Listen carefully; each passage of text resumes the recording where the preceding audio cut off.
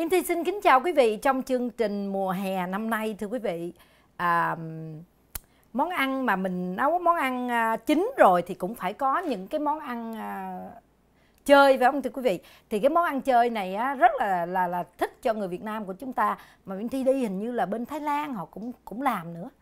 À, và dường như là bên của hình như ở ngoài quốc ở nước Mỹ mấy nước Tây phương thì ít nhưng mà đa số là các nước Á Châu thưa quý vị thì hôm nay Uyên Thi muốn làm món, đó là món ăn chơi, món bánh mì chiên tôm, thưa quý vị. Bánh mì chiên tôm thì đầu tiên hết là Uyên Thi sẽ dùng tôm nha. Uyên Thi dùng cái tôm à, có đầu, có vỏ. Nhưng mà nếu mà mình để cái cái cái cái đầu con tôm này mình ăn nó sẽ đâm vô trong miệng mình, cho nên Uyên Thi cắt bớt đi cho nó gọn lại ha. Đó, mình cắt ngay chỗ cái, tại vì ở đầu nó có cái cái à, cái nhọn nhọn, cái cái đó mình ăn mà đưa vô miệng cắn một cái là thôi nó đâm vô trong lợi là hết hết ngon luôn. Đó, với lại cắt con mắt đi Uyên thì cũng sợ con mắt lắm con mắt con gì cũng sợ. Con tôm thì con mắt nó đen từ lùi à. còn con à, mắt con heo mắt con cá gì cũng thì cũng sợ hết thưa quý vị. Cái này cắt rồi nè. Đó mình với lại một phần nữa mình cắt cái này đi nè nó vừa gọn cái rau rìa à xung quanh nữa thưa quý vị. Đó, tôm tôm nó có ờ, gạch ở trên đầu thì mình chiên nó ngon hơn. Và quý vị nhớ nha mình đừng chiên con mà lớn quá. Con tôm lớn quá nó mình ăn nhiều khi cái vỏ đó tại mình để cái vỏ luôn. Mình ăn cái vỏ đó nó nó cứng lắm. Cái cái tôm này là khoảng chừng 36 40 size 36 40 là vừa nè. Đó. Đó, mình cắt mình chừa cái đuôi lại mình bỏ bớt mấy cái ờ, rau rìa với lại ờ, với là chân của con tôm đi cho nó khỏi có tùm lum thôi. Rồi. Cái này Uyên Ti cũng cắt sẵn rồi. Rồi thường thường mình làm cái món này đó là ở nhà làm tiệc làm gì cái hoặc là ăn ăn bánh mì á mà mà mà mà dư á là là mình hay đem ra mình làm bánh mì hấp hoặc là bánh mì chiên tôm đúng không thưa quý vị? Thì uh, Uyên Thi đã chia sẻ bánh mì hấp rồi kỳ này là mình sẽ làm bánh mì chiên tôm rồi bây giờ Uyên Thi sẽ ướp cái con tôm này một chút xíu. À, Uyên Thi sẽ cho vào đây một chút xíu muối nha. Một chút xíu bột nêm. Và một ít tiêu. Đó. Rồi một chút xíu ngũ vị nữa. Ngũ vị hương đó thưa quý vị. Cho vào một chút thôi để cho nó thơm thơm á. Rồi mình trộn đều lên.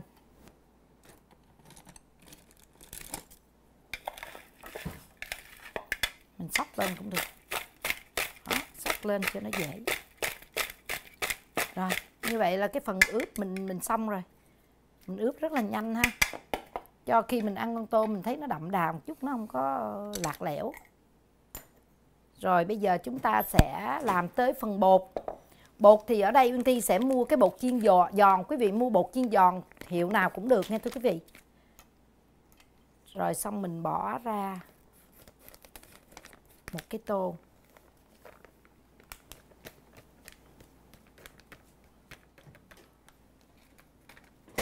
Uyên Thi cho thêm khoảng chừng một muỗng canh bột gạo nè. Cho nó giòn á. Một hoặc là một muỗng rưỡi nha rồi cái phần này á quý vị à, chỉ cần à, à, bỏ nước vào và quậy lên thôi. Trước khi mà bỏ nước vào á, thì Uyên Thi cũng cho vào đây một chút xíu à, bột gà nha. Một chút bột ngũ vị hương. Để cho nó thơm. Khoảng nửa muỗng cà phê nha thưa quý vị.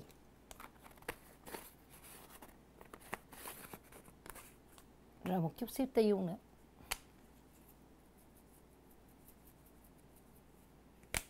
Rồi bột nghệ. Một ít bột nghệ để cho nó có màu vàng vàng cho nó đẹp đẹp. Cái gì nó cũng phải ăn bằng mắt á thưa quý vị chứ để nó nó nó nó nó, nó trắng quá mình nhìn cũng không đẹp. Và chúng ta sẽ quậy lên. Rồi sau khi mà quậy lên rồi bây giờ mình sẽ cho nước vào nước thì quý vị cho ít ít từ từ nha. Tại vì á khi mà mình làm cái bột này á quý vị làm càng đặc á, thì cái cái bánh của mình nó giòn hơn. Còn nếu mà quý vị nào muốn mà bánh nó nổi á, thì quý vị cho một chút bột nổi vô.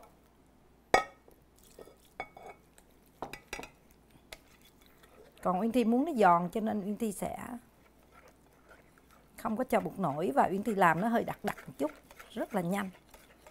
Đó chúng ta quậy bột như vậy. Tại vì cái bột này á, nó chỉ làm mà mình không có nhúng nguyên bánh mì vô. Mình mình mình để bánh mì riêng ha.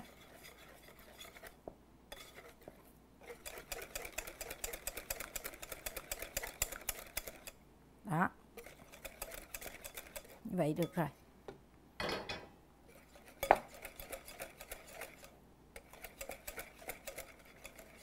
Nếu mà quý vị mà lỡ mà cho nước nhiều mà nó hơi lỏng á thì quý vị có thể cho thêm một chút bột ừ, gạo vô nữa thì nó giòn. Và bây giờ đây là những cái bánh mì lép over tất nhiên là bánh mì mình ăn dư á thưa quý vị. Thì chúng ta sẽ à, cắt ra. Uyên Thi sẽ cắt làm hai ra.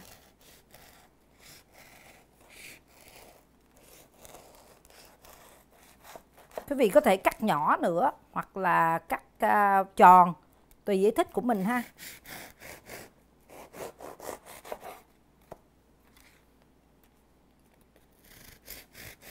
Nhiều khi mình ăn bánh mì một, hai ngày cái mình ngán mà không thích ăn nữa. Mình à, thì mình đem ra mình chiên hoặc là mình à, để khô rồi mình làm à, mình làm coi như là bánh mì hấp á nhưng mà nếu mà uyên thi để như vậy á uyên thi chiên con tôm á thì dầu á nó vô trong bánh mì rất là nhiều. Tại vì nó lỏng đây nè dầu nó rút vô trong đây thì uyên thi sẽ cán nó một chút cho nó mỏng ra một chút.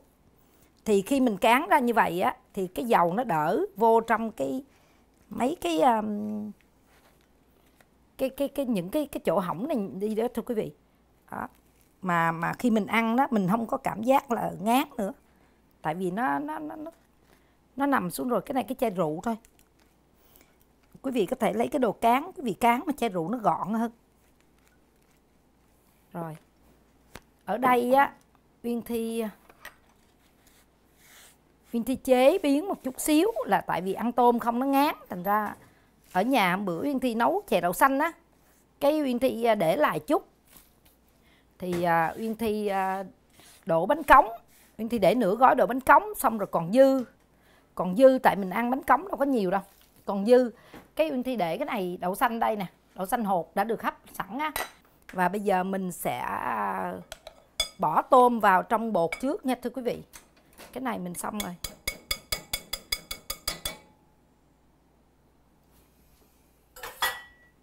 Mình sẽ bỏ những cái con tôm này vào bột để làm chi? Để khi mà mình bỏ lên bánh mì nó dính tôm.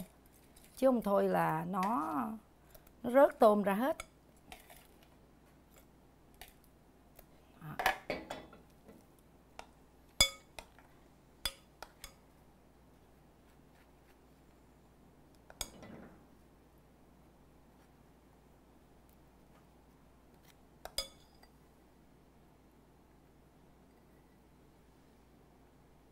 mình cho chút đậu xanh vô để cho nó. Rồi, bây giờ mình sẽ vớt tôm để lên.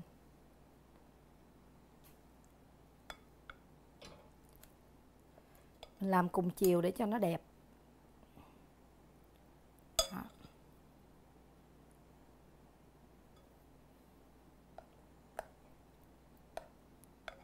thêm một con nữa.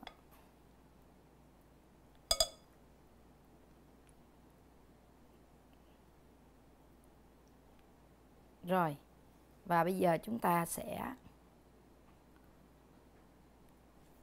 thả tôm vào chiên. Thả thả bánh mì vào chiên chứ. Đó. Một cái.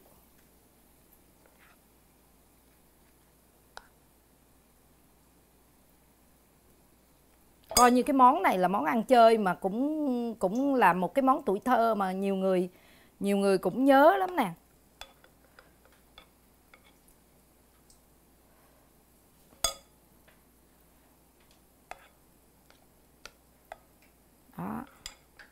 Và mình cứ như vậy mình làm mình mình chiên mình để lên nha thưa quý vị để cho mình ấy. À, mình mình chiên con tôm khi mà cái à, bánh mì nó vàng rồi á mà con tôm nó nằm im rồi thì quý vị lật lại. Và mong rằng quý vị đừng rời màn hình của chương trình bếp nhà ta nấu sau một vài phần thông tin thương mại thì trở lại với món bánh mì chiên tôm ngày hôm nay. Cảm ơn quý vị đã vẫn giữ màn hình của bếp nhà ta nấu và kính thưa quý vị bây giờ Yên Thi đã chiên được mấy miếng rồi nè. Mình mình lật lại để cho con tôm nó chín nè rồi bây giờ Yên Thi đi chuẩn bị để coi mình ăn với cái gì. Tay chân bột không? Bây giờ Uyên Thi ở đây Uyên Thi sẽ chuẩn bị một cái à, rau xà lách với lại à, nước mắm ha. Rau xà lách với nước mắm. Để mình ăn. Ăn xà lách với nước mắm. Wow ngon quá. Giòn tan luôn còn còn nếu mà quý vị nào muốn ăn với tương ớt thì cũng đem tương ớt ra. Đây là tương ớt để mà mình ăn nếu mà quý vị nào muốn ăn.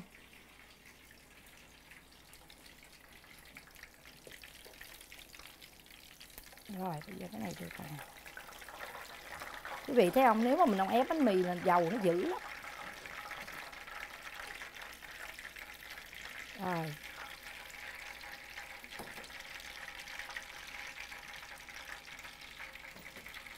Rồi bây giờ mình sẽ xếp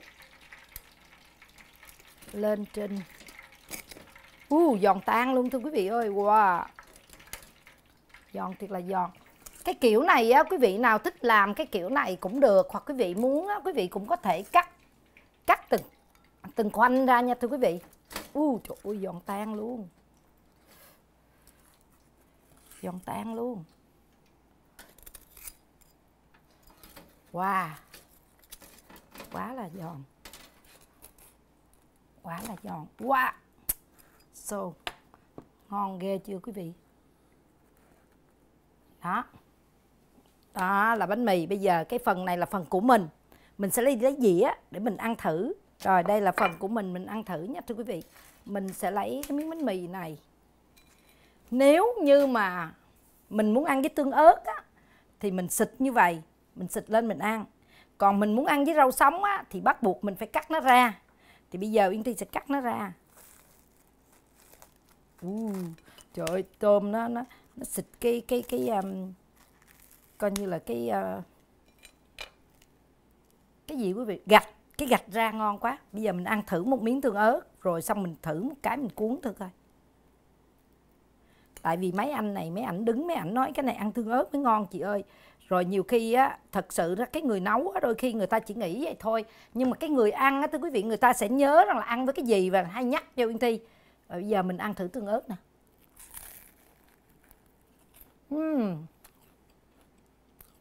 Uhm.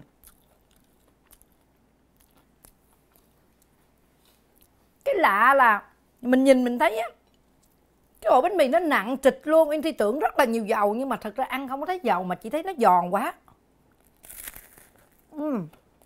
quý vị nghe nó giòn không? Uhm.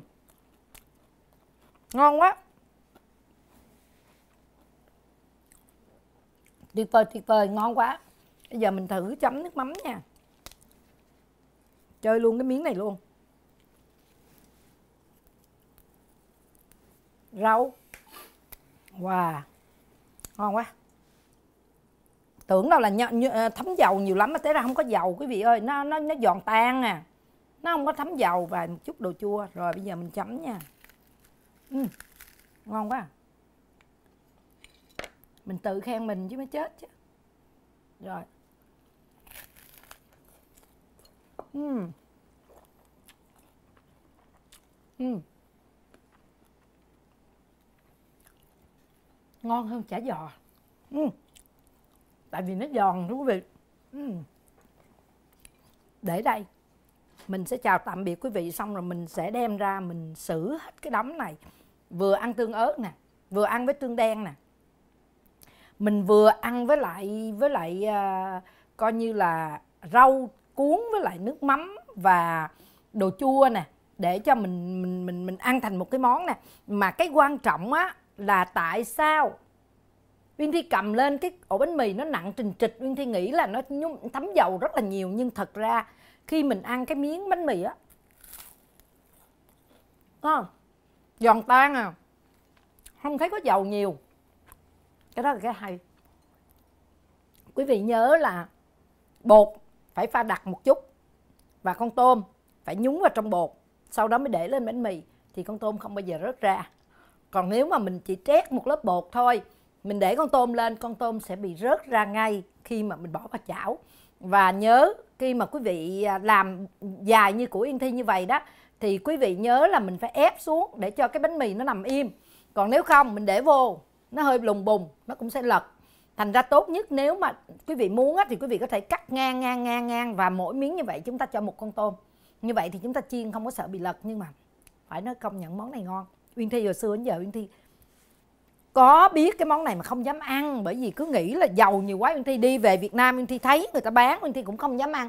Nhiều dầu quá nhưng mà thật ra khi mình ăn mình mới cảm nhận được là không có nhiều dầu như là chả giò nữa. Cái đó mới là cái hay. Có thể là vì cái lớp bánh mì nó làm cho chận đi, cái dầu nó không cho vô và mình đã để một lớp bột, cho nên nó không nhúng dầu vào trong bánh mì nhiều.